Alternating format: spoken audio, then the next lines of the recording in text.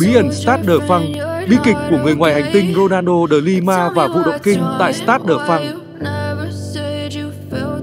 Ngày 10 tháng 7 năm 2016, khi Cristiano Ronaldo nhỏ những giọt nước mắt xuống mặt cỏ Stade de France, cánh phóng viên đã không bỏ sót khoảnh khắc có một không hai đó để ghi lại nỗi đau của người hùng. Nhưng ngay tại trái tim của Paris, có một Ronaldo khác đã phải hứng chịu một bi kịch còn khủng khiếp hơn nhiều.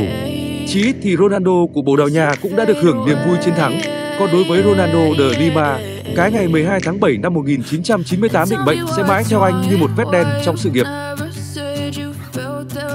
Một thất bại cay đắng trong trận chung kết và trên hết là một trong những bí ẩn lớn nhất trong lịch sử bóng đá thế giới.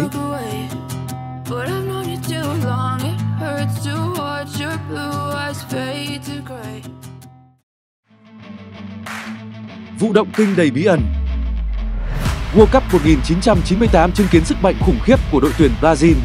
Họ giành ngôi đầu bảng A với thành tích thắng 2 thua 1, trận thua 1-2 trước Na Uy chỉ mang tính thủ tục, đả bại Chile, Đan Mạch và đặc biệt là vượt qua cơn lốc màu da cam Hà Lan ở trận bán kết. Trong chiến tích đó, tiền đạo 21 tuổi Ronaldo de Lima chính là nguồn cảm hứng của Selecao, dù cho khi đó họ vẫn còn Bebeto, Rivaldo hay Leonardo. Với 4 bàn thắng và hàng loạt những pha bóng mê hoặc khán giả, người ngoài hành tinh được kỳ vọng sẽ giúp Brazil đánh bại chủ nhà Pháp để bảo vệ cúp vàng World Cup. Thậm chí, đã có những lời nói đùa rằng nếu Brazil nâng cúp tại Stade de France thì người ta nên khắc tên Ronaldo lên quả bóng vàng luôn cho đỡ bất thi giờ. Thế nhưng đó cũng là lúc bi kịch bắt đầu. Trước ngày 11 tháng 7, trước trận chung kết một ngày, đội tuyển Brazil ăn trưa gần Paris, sau đó tất cả về phòng nghỉ ngơi. Ronaldo trở lại phòng tại khách sạn và xem một cuộc đua công thức một trên TV, nhưng đột nhiên cảm thấy khó chịu trong người. Anh bắt đầu nôn mửa và miệng sùi bọt mép, kèm theo đó là những pha co giật liên hồi. Roberto Carlos có lẽ không bao giờ quên hình ảnh đó của người bạn cùng phòng. Anh bắt đầu hô hoán gọi người trợ giúp và có một số nguồn tin kể lại rằng Carlos thậm chí đã không kìm được nước mắt. Khi nhìn thấy cảnh tượng đó, tôi gần như tuyệt vọng. Đó là một cảnh tượng quá sốc. Tiền đạo Edmundo, một trong hai người đầu tiên có mặt sau khi nghe Carlos hô lớn nhớ lại. Cũng chính Edmundo là người đã cho tay vào miệng Ronaldo để anh không tự cắn lưỡi mình trong lúc mê sảng. Sau đó các bác sĩ đã tới và ngay lập tức tiến hành chữa trị cho người ngoài hành tinh, đồng thời nhất trí sẽ làm mọi cách có thể. Edmundo hồi tưởng những giờ phút căng thẳng sau đó, chúng tôi trở về phòng và nghỉ ngơi. Nhưng các bạn biết đấy, ai cũng tỏ vẻ lo lắng. Phòng của tôi ở ngay cạnh, phòng Ronaldo, vì thế tôi đã chứng kiến tất cả mọi việc. Cứ 5 phút lại có ai đó tới để theo dõi, còn Ronaldo thì ngủ như một đứa trẻ vậy. Kịch tính trước giờ bóng lăn Ít giờ sau, Ronaldo tỉnh dậy, uống một tách trà và không hề hay biết về những chuyện vừa xảy ra. Anh đã qua cơn nguy kịch, nhưng vấn đề giờ đây nằm ở việc liệu anh có thể ra sân thi đấu hay không. 4 tiếng trước giờ bóng lăn, huấn luyện viên Mario Zagallo gửi danh sách thi đấu trận chung kết cho ban tổ chức mà không có tên Ronaldo, thay vào đó Edmundo sẽ là người đá chính. Giới báo chí lập tức dậy sóng về quyết định khó hiểu của vị chiến lược gia người Brazil. Tất cả đã chờ đợi màn so tài giữa Zidane và Ronaldo cả tuần này. Vì thế họ vô cùng thắc mắc và tức giận khi nhìn thấy danh sách đăng ký thi đấu của Selecao. Tưởng chừng như mọi chuyện đã an bài thì chỉ 40 phút trước giờ bóng lăn, đội tuyển Brazil gửi lên một danh sách khác. Lần này người ngoài hành tinh có tên trong đội hình xuất phát. Chưa bao giờ người ta thấy cánh báo chí rối loạn đến như thế và thậm chí sau này nguyên nhân sự việc cũng không thực sự được làm rõ. Ronaldo nói rằng anh đã nài nỉ huấn luyện viên Zagallo thay đổi quyết định khi biết mình không được thi đấu trận chung kết. Trong khi đó, một vài nhân viên y tế của Brazil khẳng định rằng chính huấn luyện viên Zagallo đã ép Ronaldo phải ra sân. Chỉ có một điều khá chắc chắn là ngay sau đó, Zagallo đã có một cuộc họp chấp nhoáng với đội ngũ bác sĩ của đội tuyển Brazil và quyết định đưa Ronaldo đi khám sức khỏe tại bệnh viện Paris. Kết quả cho thấy sức khỏe của Ronaldo hoàn toàn bình thường và anh được phép tham dự trận chung kết. Tuy nhiên, Ronaldo đã không còn là người ngoài hành tinh mà tất cả từng được chứng kiến. 90 phút tại Stade de France có thể nói là những phút thi đấu tệ nhất trong sự nghiệp thi đấu của Do Béo. Anh gần như mất hút và không tạo được bất cứ một dấu ấn nào. Trong khi đó, Zidane tỏa sáng rực rỡ với cú đúp đánh đầu vào lưới Tafarel, qua đó giúp đội tuyển Pháp giành chiến thắng 3-0. Ngày 12 tháng 7 trở thành một dấu mốc lịch sử với bóng đá Pháp khi họ lần đầu tiên giành cúp vàng World Cup. Còn đối với người Brazil, đó là khởi đầu cho một sự kiện chưa từng có tiền lệ. Sau trận chung kết, huấn luyện viên Zagallo đã tỏ ra khá bình tĩnh trước những sức ép từ dư luận. Nếu như đảo ngược tình thế, tôi không cho Ronaldo ra sân và đội tuyển Brazil vẫn thua 0-3. Người ta sẽ nói rằng Zagallo là một kẻ cứng đầu. Ông ta đáng ra phải để cậu ấy ra sân vì Ronaldo là cầu thủ xuất sắc nhất thế giới. Vì thế nếu được chọn lại thì tôi vẫn làm như vậy. Bác sĩ Toledo cũng tỏ ra đồng cảm. Nếu như tôi ngăn cậu ấy thi đấu và Brazil thua trận thì có lẽ tôi chỉ còn nước dọn tới Bắc Cực mà sống thôi. Tuy nhiên, người dân và thậm chí là chính quyền Brazil thì không giữ được bình tĩnh như thế. Lần đầu tiên trong lịch sử, Quốc hội một nước mở cuộc thẩm vấn về thất bại của đội tuyển quốc gia tại một giải đấu. Không chỉ vì trận thua nặng nề nhất của Brazil trong suốt 68 năm tham dự World Cup, mà còn bởi những nghi ngờ về việc đã có một thế lực ngầm nhúng tay vào việc này.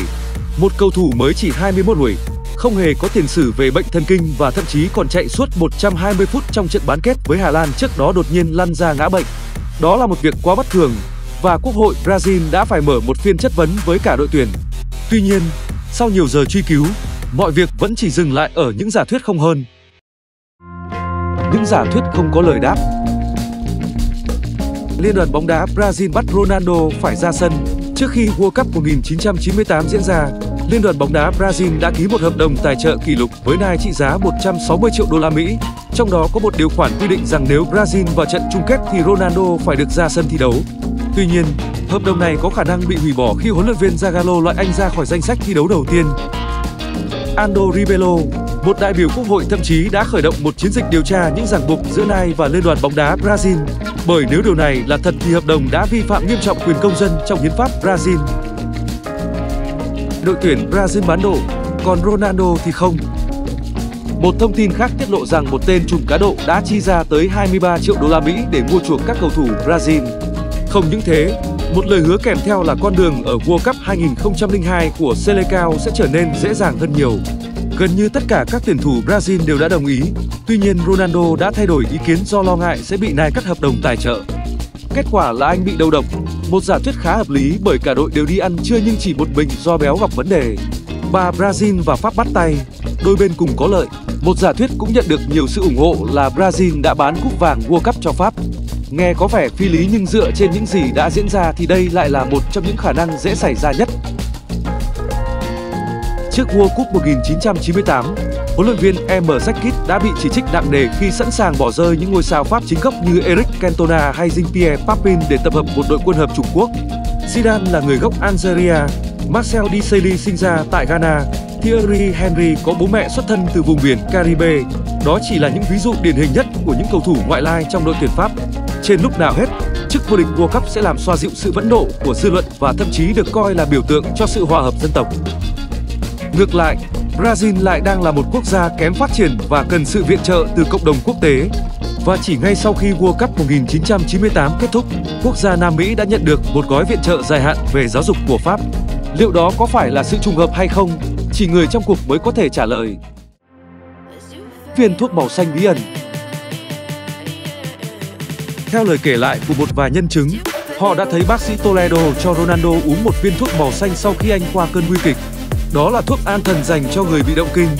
Tuy nhiên, theo bác sĩ Piero Volpi, người đã từng chữa trị cho Ronaldo ở Inter Milan, ông phát hiện ra rằng vấn đề của Ronaldo không nằm ở hệ thần kinh mà là hệ tuần hoàn.